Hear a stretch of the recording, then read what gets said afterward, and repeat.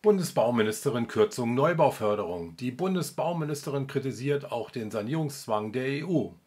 Clara Geiwitz fordert mehr sozialen Wohnungsbau. Der Neubau von Wohnungen ist in letzter Zeit aufgrund der hohen Kosten beim Bau deutlich zurückgegangen. Trotzdem plant die Bundesbauministerin Clara Geiwitz SPD, die Neubauförderung zu kürzen. Sie kritisierte die bisherige Praxis als reine Steuergeldverschwendung und als allgemeinen Baukostenzuschuss. Stattdessen will sie den sozialen Wohnungsbau stärker fördern und fordert Milliarden für den sozialen Wohnungsbau und nicht nur für die Immobilienwirtschaft. Denn bezahlbarer Wohnraum ist so knapp wie seit langem nicht mehr. Mieterschutzregelung und Fördermittel wegen Heizungsverbot geplant. Geiwitz verteidigt auch die Pläne, dass ab 2024 nur noch Heizungen eingebaut werden dürfen, die mit mindestens 65 Prozent erneuerbarer Energie betrieben werden.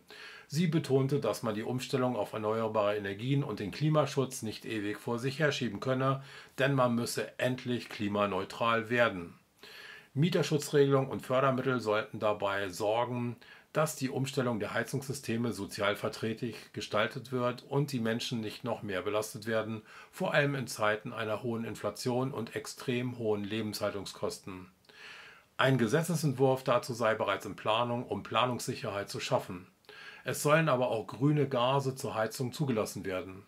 Geiwitz betonte aber auch, dass die Wichtigkeit von kommunaler Wärmeplanung, da beispielsweise Abwärme bisher überhaupt nicht genutzt werde. Sanierungszwang sei nicht mit dem Grundgesetz vereinbar. Sie kritisierte auch den Sanierungszwang durch die EU und hält dies nicht mit dem deutschen Grundgesetz vereinbar. Zusätzlich warnte sie vor einer Überforderung der Eigentümer und sieht gleichzeitig aber auch keine ausreichenden Kapazitäten in Deutschland für die Umsetzung der Sanierung in diesem Zeitplan.